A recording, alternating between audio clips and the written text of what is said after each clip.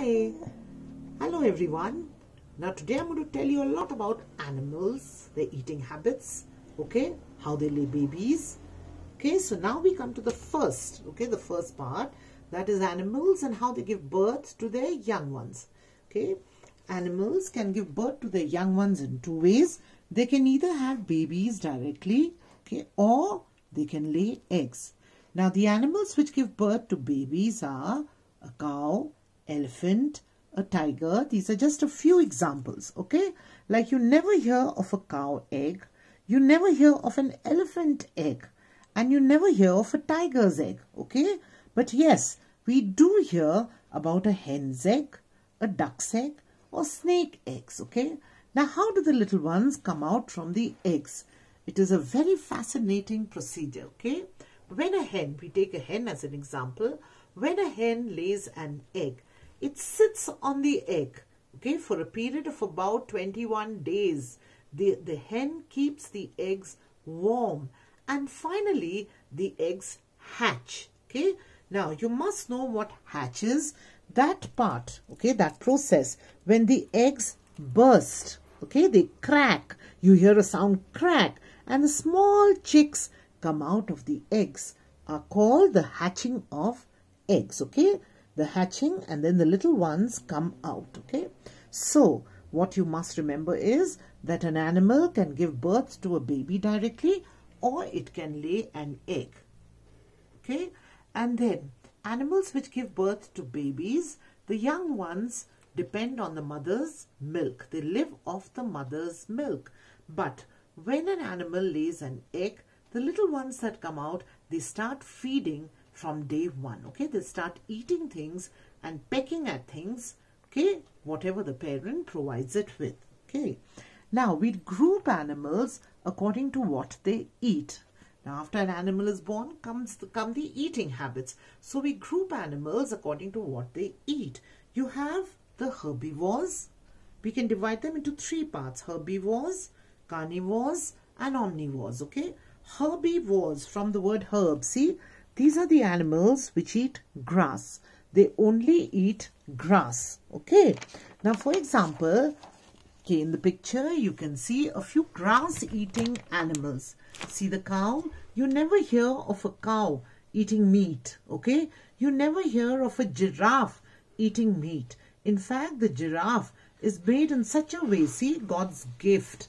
Okay. He has such a long neck that allows it to reach the leaves on the tree tops. See? So these are grass-eating animals known as herbivores. The goat, the cow, the deer, the giraffe. These are all a few examples of herbivores or grass-eating animals. Now, the second group of animals are the carnivores.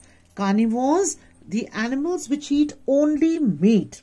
You never hear of a lion eating a sugarcane or you never hear of a lion eating grass. The lion only wants meat, okay? So meat eating animals are called carnivores, okay? Now, then you have an example, the third example. Now first you can see this beautiful lion there. See?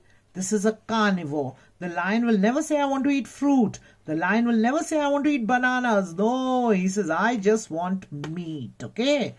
Now, then we have the third group of animals, the omnivores. Omnivores are animals which eat grass also and meat also. The best example of an omnivore is a bear. A bear loves honey, okay? And a bear eats shoots and the bear loves fish. So see, an animal which eats both meat and grass is an omnivore.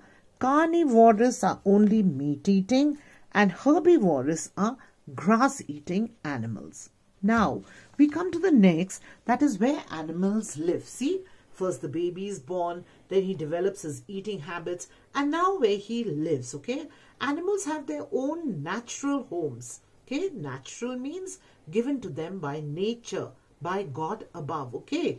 Now see, for example, you can see in the picture, the bear lives in a den okay the snake coils onto the branch of a tree or lives in a hole okay then see the bird builds a nest okay now see the leopard here sitting on the branch of a tree or he can also stay in a cave Okay, so animals have their natural homes. Like we have our homes. Every day when the bell rings and school gives over, you love to run back home. In the same way with animals, they all have their fixed homes.